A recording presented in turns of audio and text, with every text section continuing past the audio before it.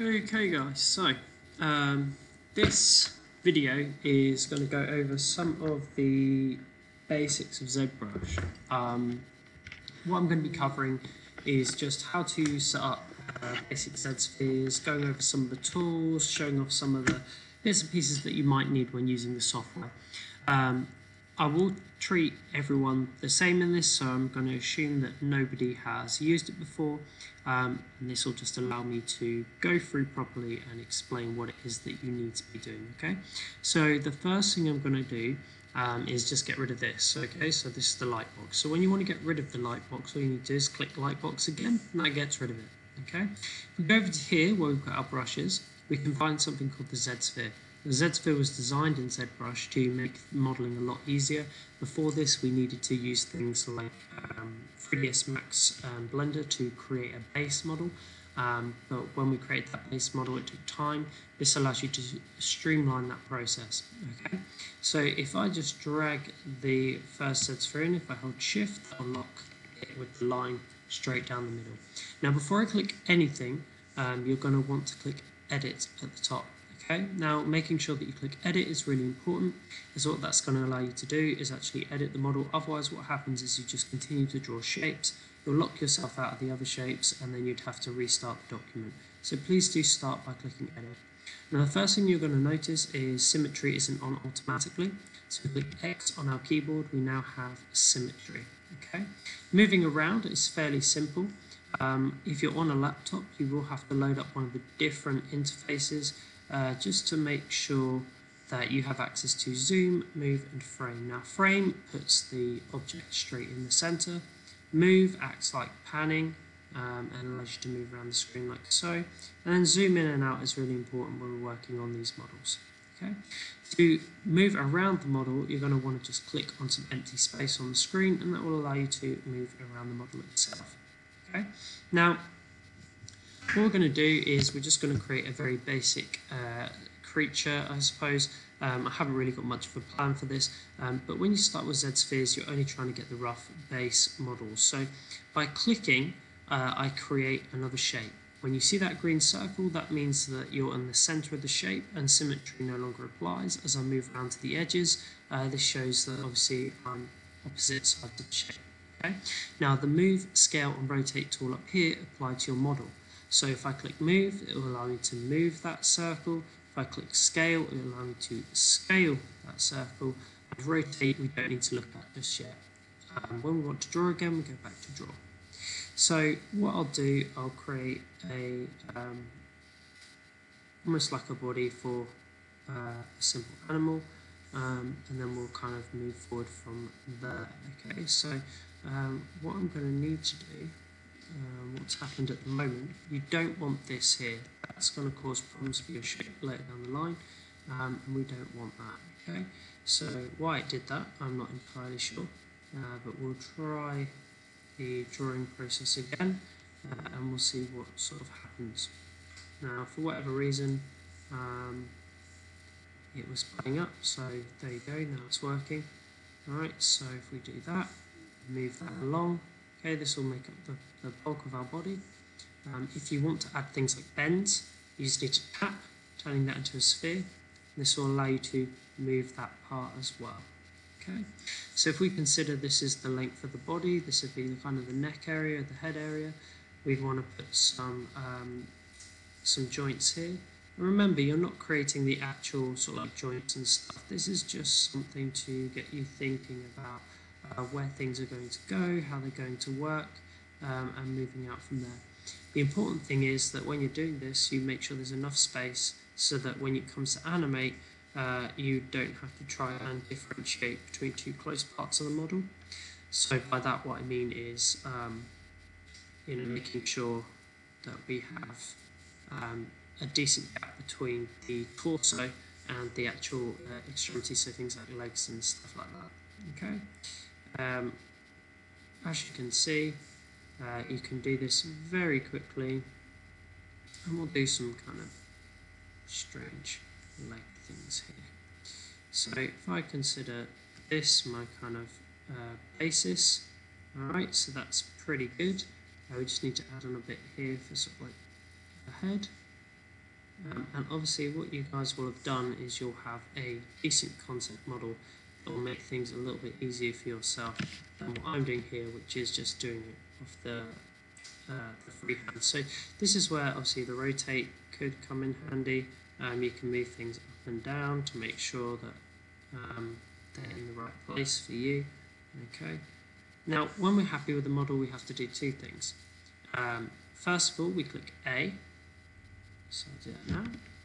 And that turns it into the mesh we're going to be working with. Now, if you're not happy with that mesh, you can click A again and go back and edit it.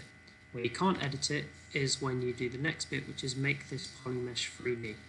Once you've done that, that opens up all the brushes that you can use in ZBrush. Now, this is where I can start going into some of those more advanced tools. The first thing I would do is I turn it from matte cap red here to MatCap grey.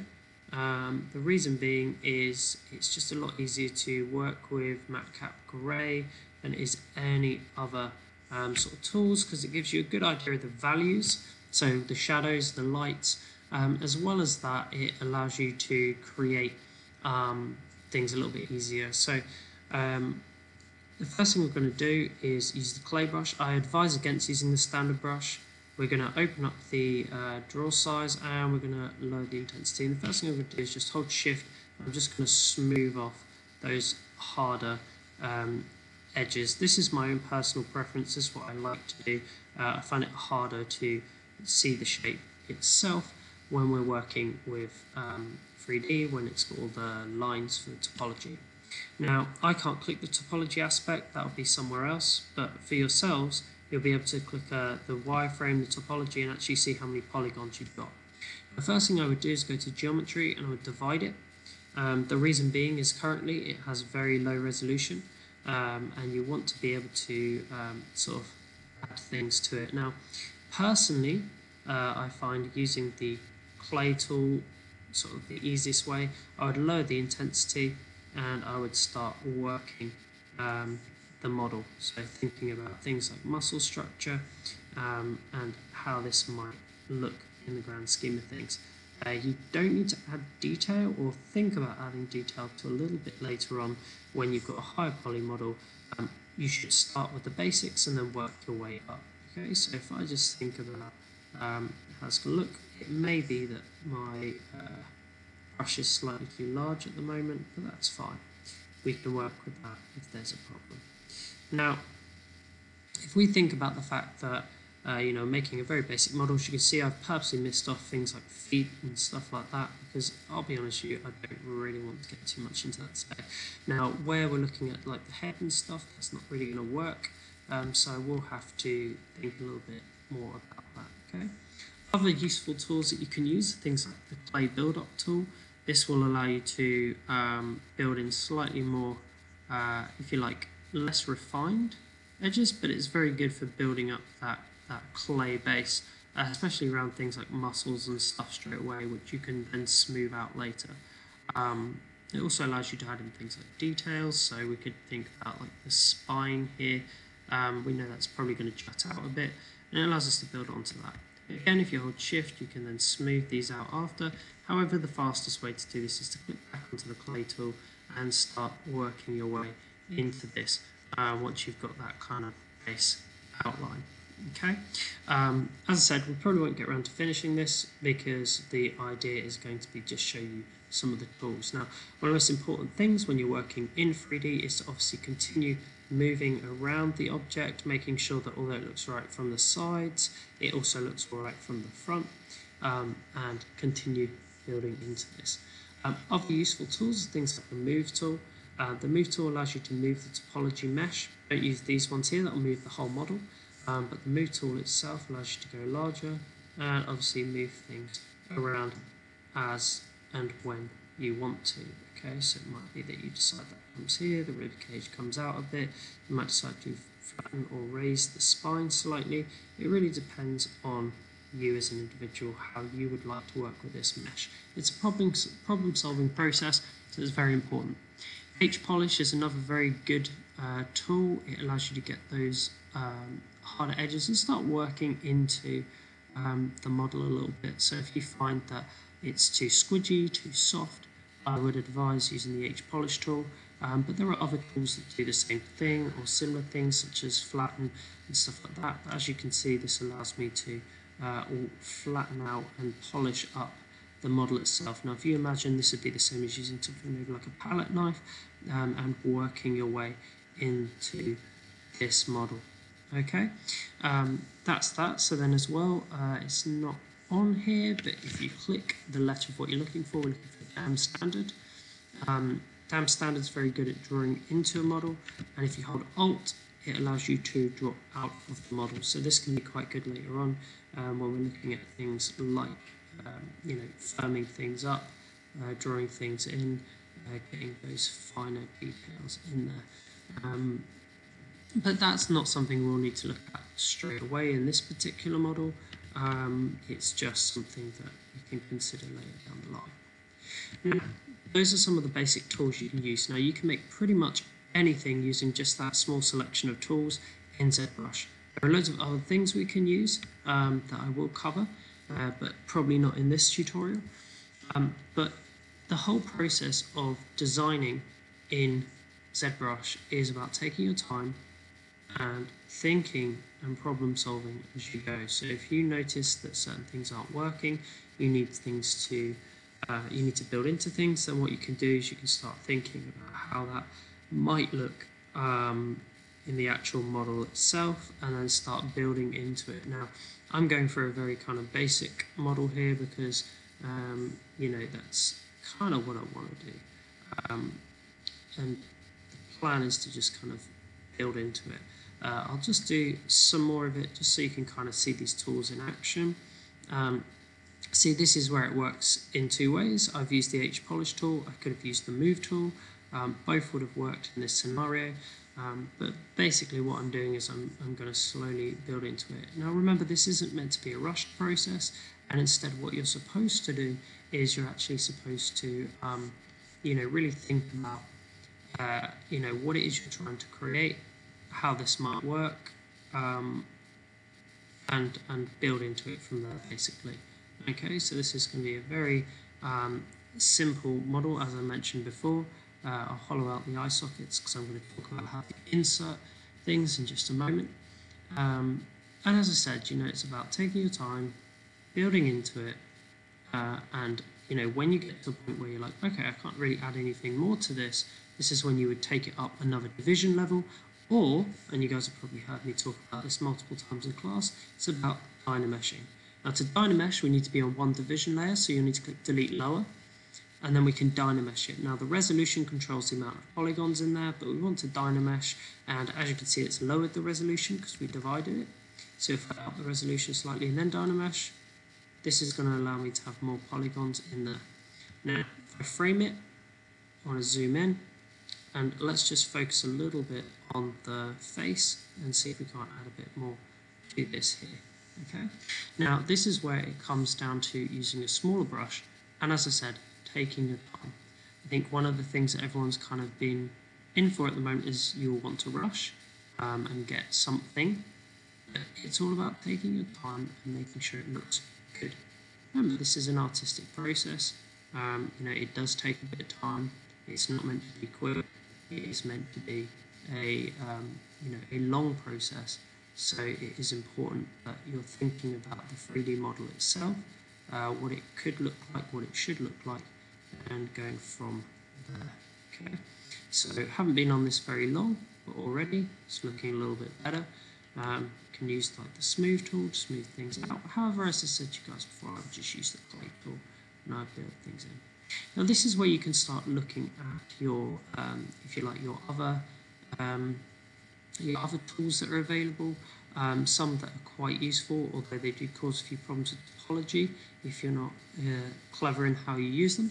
Some tools you can use are things like the pinch tool.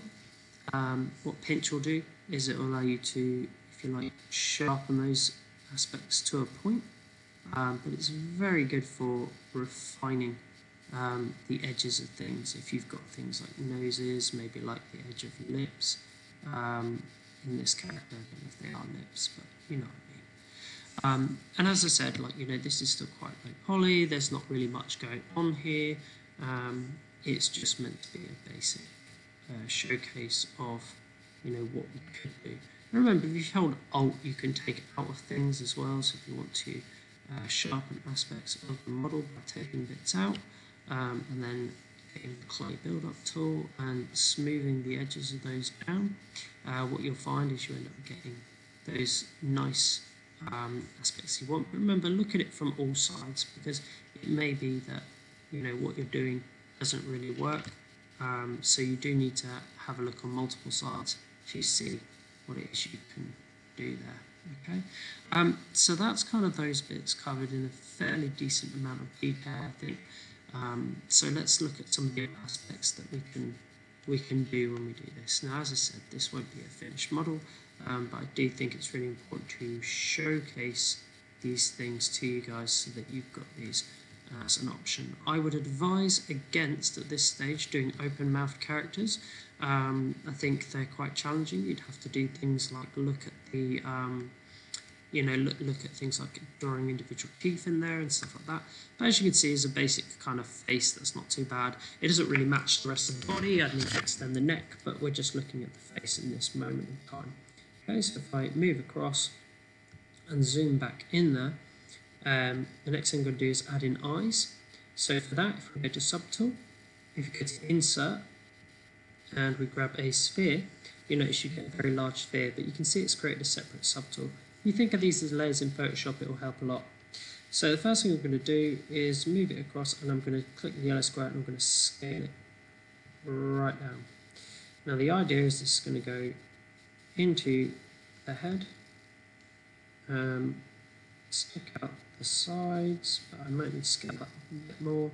Yeah, probably. And I will scale that up. Okay. Now when you're happy with it in the position it's in, uh, you can duplicate it and then if we duplicate it it'll be in exactly the same place so I would then turn it round hit the move tool and I'd just move it straight across and I would then fit it oh it hasn't done it for whatever reason.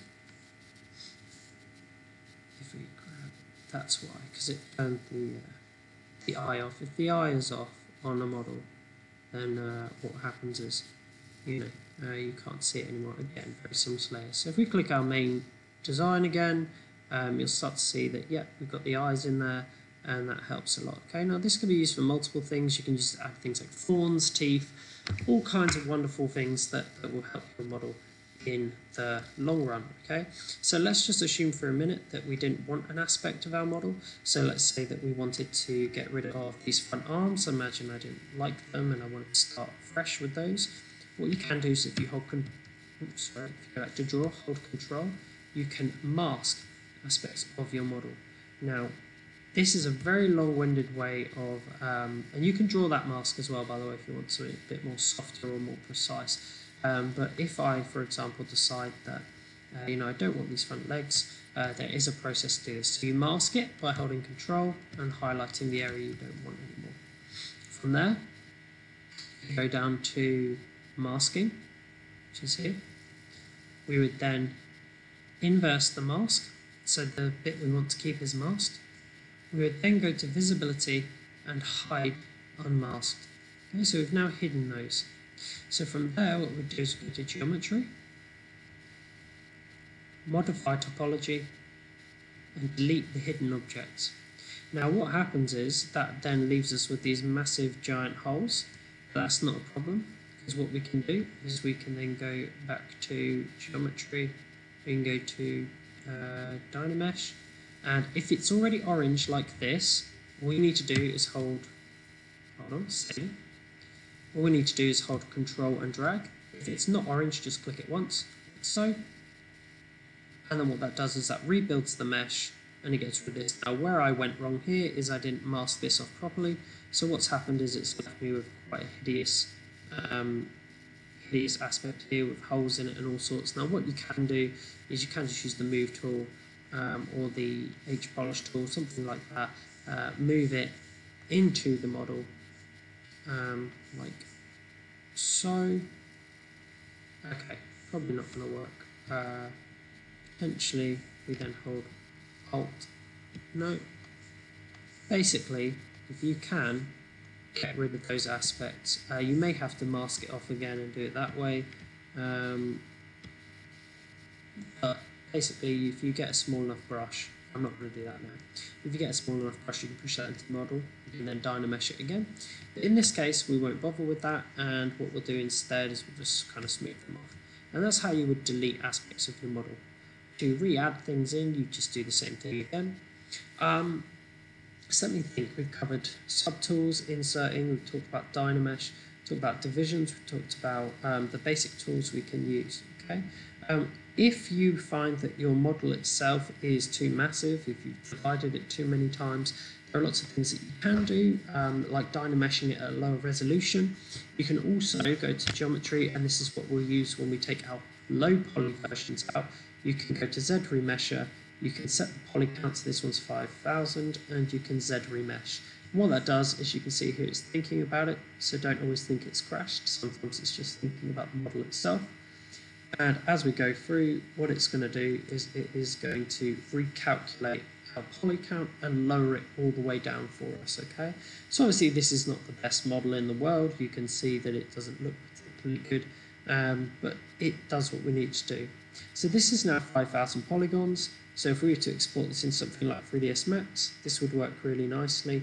Um, and this is what you'll be doing when you take your low poly models into games themselves.